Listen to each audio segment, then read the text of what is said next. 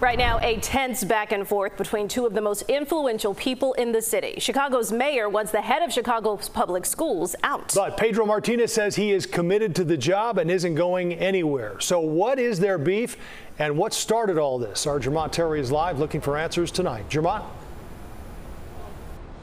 Joe and Erica, the mayor says leave, but the CPS CEO Martinez says he isn't going anywhere. And now what was an internal battle between the two is clearly public, leaving some aldermen to question if this is really just a political move. The CEO of Chicago Public Schools is the headline. Mayor Brandon Johnson wants Pedro Martinez to step aside. He asked them to resign, uh, and CEO Martinez declined to resign. So if they want to replace him, they will have to terminate him, and that could potentially get messy. Second Ward Alderman Brian Hopkins believes the move by the mayor is a dangerous one. Uh, this constitutes mayoral interference, in my opinion. There were rumbles for months. Johnson and Martinez were not seeing eye to eye. Now it's out. The call for Martinez's resignation comes while the Chicago Teachers Union is in the middle of contract negotiations with CPS. Teachers want a hefty pay increase. The CTU was a key financial supporter in Mayor Johnson's campaign and win. He said he would not interfere in the collective bargaining process on behalf of the Chicago Teachers Union. He seems to be breaking that promise right now, and that's a cause for concern.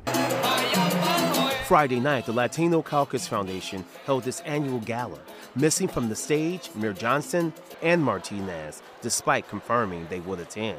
Maybe he didn't want to you know, face the media about the questions you guys were going to pose. Their contentious relationship is now very public, leaving aldermen to say this is political. Especially during Hispanic Heritage Month, where you would take the president of CPS, who happens to be a Latino, and, and talk about replacing him when the children, the parents, and quite frankly, the principals, the staff are all um, excited about the trajectory that the CPS is going in right now. While the mayor isn't talking, Martinez did send a letter to CPS staff and supporters saying, in part, me and my leadership team are 100% focused on building the positive momentum of the school year, adding, we will continue to lead with integrity and transparency in the service of our students. Now, the mayor could ask the school board to, to take up a vote to try to terminate Mr. Martinez. There's no indication that the school board will even do that. We should point out that Martinez was appointed by former Mayor Lori Lightfoot.